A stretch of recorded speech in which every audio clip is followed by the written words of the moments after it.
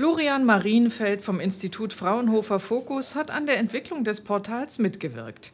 Noch ist Open Data in der Testphase, doch zum Ende des Jahres sollen die Berliner von Deutschlands erster Datenbank, die Zugang zu sämtlichen Datenbeständen der öffentlichen Hand schafft, profitieren. Ein Beispiel.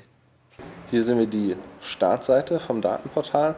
Hier sieht man, in was für Kategorien es schon Daten gibt. Und wenn man jetzt zum Beispiel ähm, bei Geografie und Stadtplanung reinguckt, dann tauchen halt verschiedene Datensätze dazu auf. Und die Idee ist die, dass jetzt Entwickler auf Grundlage von diesen Daten verschiedene Anwendungen umsetzen können.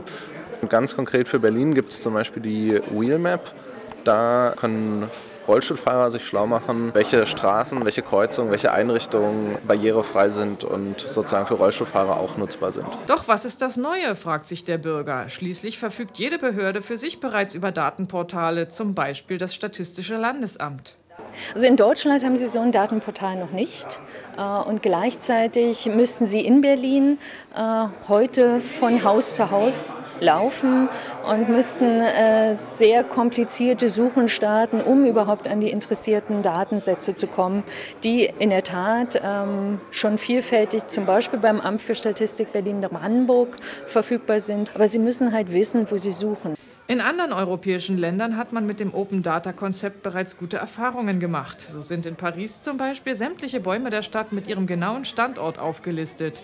Die Daten wurden für Pollenallergiker zur wichtigen Information bei der Wohnungssuche. In Los Angeles gingen die Magen-Darm-Erkrankungen zurück, nachdem Ergebnisse sogenannter Ekellisten veröffentlicht wurden. Und auf dem Berliner Portal schon abrufbar ist eine äh, Fluglärmkarte die die äh, Taz entwickelt hat. Dort können Sie äh, als möglicherweise betroffener Bürger dann auch eingeben, Ihre Adresse, Ihre, Ihre Hausnummer und können dann erfahren, in welcher Form bin ich von Fluglärm betroffen und können dann auch mit diesen Informationen arbeiten. Im Moment sind es sieben verschiedene Datenkategorien wie Wirtschaft, Tourismus, Bildung und weitere, zu denen Daten abrufbar sind. Der Bürger soll sich aber auch aktiv in Entscheidungsprozesse einbringen, kann Fragen stellen.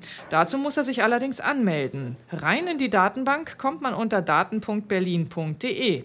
Noch sind es aber erst wenige Apps, die eingestellt sind. Weitere Beiträge aus der Wissenschaft von Verbänden und Unternehmen sollen folgen.